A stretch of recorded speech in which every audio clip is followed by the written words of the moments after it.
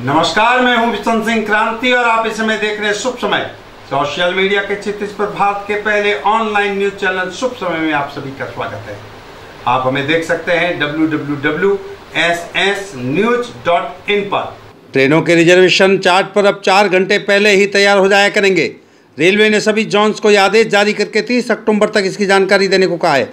आने वाले इस नए सिस्टम से सबसे बड़ा फ़ायदा ये होगा कि समय रहते टिकट की स्थिति का पता चल जाएगा।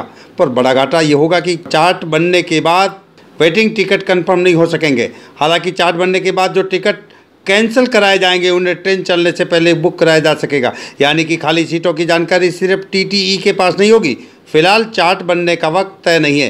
कभी ट्रेन से चलने में तीन घंटे पहले तो कभी डेढ़ घंटा पहले चार्ट तैयार हो जाता था। इंडियन रेलवे के एक सीनियर ऑफिसर ने बताया कि रेलवे का इरादा है कि चार्ट तैयार होने के बाद कैंसिल टिकट की जानकारी फ़ौरन इंस्टेंस पर आ जाएगी, ताकि लोग उसे खरीद सकेंगे। इस तरह से सीट खाली करने की संभावना तो खत्म होगी, साथ ही पैसे लेकर सीट देने की शिकायतों की भी गुंजाइश खत्म होगी। मुंबई में अब ओसी प्राप्त बिल्डिंगों में फ्लैट पर नहीं लगेगा service tax. OC occupation certificate प्राप्त बिल्डिंगों में घर खरीदने पर अब आपको सर्विस टैक्स नहीं चुकाना पड़ेगा। अब तक इस मामले में स्पष्टता न होने का भ्रम पैदा था। दरअसल बिल्डिंग को कंप्लीशन सर्टिफिकेट मिलने के बाद सर्विस टैक्स न लेने का प्रावधान है। ओसी मिलने के बाद अंत में कंप्लीशन सर्टिफिकेट जारी किया जाता है।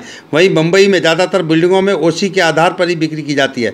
इसके चलते फ्लैट खरीदने पर सर्विस टैक्स को लेकर असमंजस कायम रहता था।